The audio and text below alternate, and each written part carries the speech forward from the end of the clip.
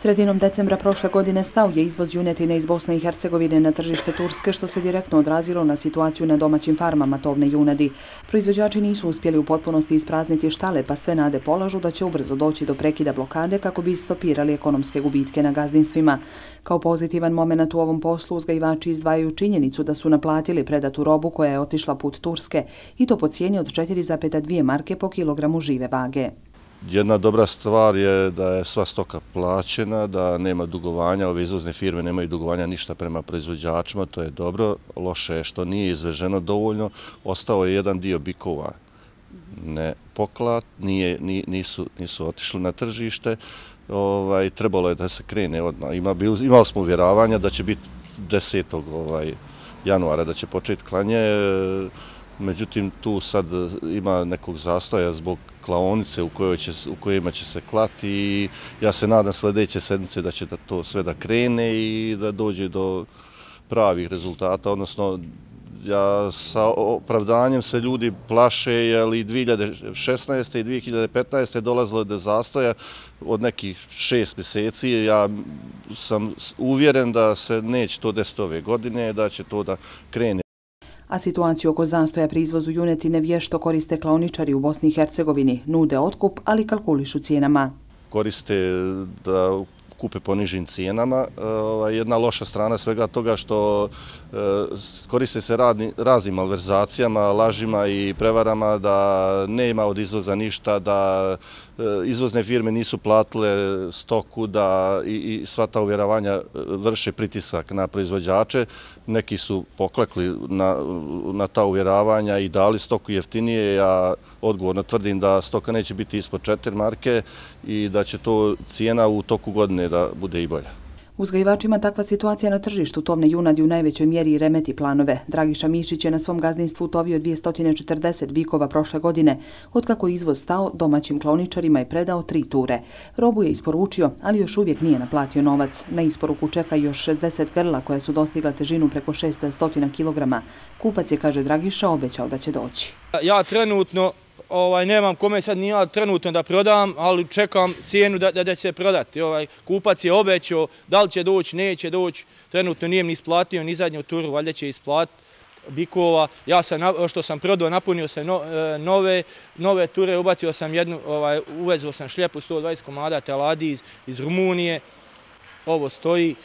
Trenutno situacija i žitarce su ovaj, cijene iće gors, niko se ne zna šta će biti, kako ne, jednostavno ne, nije zagarantovan ovaj, prodaja. Na, nama mi možemo da utovimo trenutno, svi bi mi tovili i povećavalo se sve, niko ne da stane da, da ta, ta cijena, da ugovor se neki napravi pa da se mi možemo biti sigurni. Ovo je sve nesigurno. I nije trenutni zastoj u izvozu junetine obeshrabrio proizvođače, pa su uprkos tome što čekaju isporuku neprodate robe, krenuli sa zanavljanjem novog ciklusa. Ova su teladi plaćena 3 evra i 20 po kilogramu, plus PDV. Znači, oko 550 evra, 1100 maraka plus PDV, mi imamo 170 maraka PDV-a na njoj. To je ta situacija, pošto sam u PDV-u, ja moram uzeti ovu telad na papire, ne mogu da uzmem na crno po pijacama, e, plaćeni su 200 maraka, znači gotovo PDV-a je plaćeno po teletu, pa sad gdje se nađemo iduće godine i pošto će biti to, niko ne zna se, da li ćemo e, uspjeti da se pokrijemo, da li ćemo šta zaraditi, to sve zavisi a konkurencija pri nabavci teladi u Rumuniji raste, pa tako i cijena. Imaju nove najave da će još cijena rasti gore i nema teladi.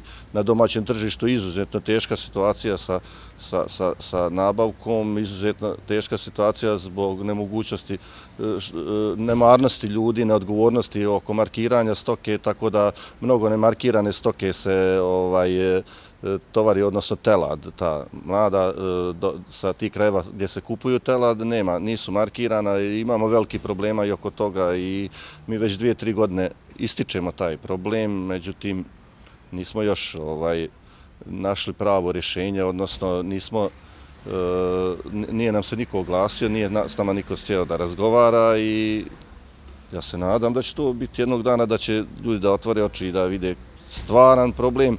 E, ja mislim da bi trebalo najmanje u toku godine dva puta da se sastanemo e, sa glavnom kancelarijom, da iznesemo svoje probleme.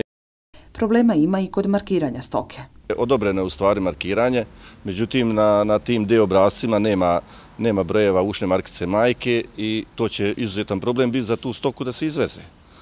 Jer smo ta, taj problem imali 2015. godine. Na pitanje da li će kada svedu računicu biti zarade, uzgajivači kažu. Zarade, jedan dio će ostati. Ja, ja se najvišu, najveću zaradu se uzdam u posticaj. To je čista zarada, od ove zarade može da, da ostane, to je mala zarada od 50 do 100 maraka po biku, to je maksimalno. Koliki su vam posticaji po jednom biku? E, što se tiče posticaja, nas su srezali isto i tu e, na domaće daju do 200-250 maraka, nama daju 130 maraka za Rumunsku.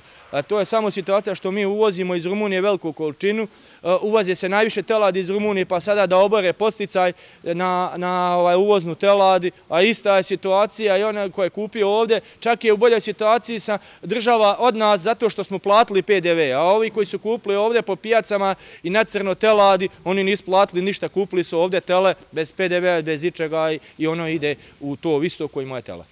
Ipak nadaju se uzgajivači tovne junadi da će po pitanju izvoza ova godina biti izuzetno dobra. Već su neke firme, kažu, prošle na tenderima da bi mogle izvoziti junetinu iz Bosne i Hercegovine, a prema prvim najavama tokom ove godine trebalo bi da bude izvezeno oko 8000 tona iskoštenog junećeg mesa. Izvoznici već sada zagledaju i kapacitete klaunice bjeljinskog mesoprodukta. Dobili su ponudu od e, gazde mesoprodukta, e, cijenu su im dali za izdavanje objekta, Pa, oni će to vjerojatno staviti sve na papir, preračunati. Ja sam siguran da im je interesantno, samo da vam jedan podatak kažem, na 3000 tona izvezenog mesa ide 150 šlijepa. 150 šlijepa od e, travnika do bijeljne je razlika 100.000 maraka. To nije mali novac, znači ušteda samo u transportu mesa, da ne govorimo o transportu stoki a kada bi otkupna cijena bila 4,2 marke, to bi moglo pokriti troškove proizvodnje. Treba biti skroman. Pošto je 4,20 mi bi se mogli da uklopimo, zato što imamo i taj PDV, onda bi se nam se vratio PDV i uklopili se u tu cijenu. Ali tu cijenu, sada ja sam trenutno i već pada i možda ispod 4 marke će biti bikovi. Šta će biti, evo, januar je kraj, već januar, februar, to, to znamo svi da, da, da je loša cijena. Od februara će juneće meso iz susjedne Srbije put Turske. Biće to, kažu, jača konkurencija izvoznicima iz Bosne i Hercegovine, što bi moglo očekuju kroz tržišnu utakmicu dodatno ojačati i ustabiliti otkup i izvoz sa domaćeg terena.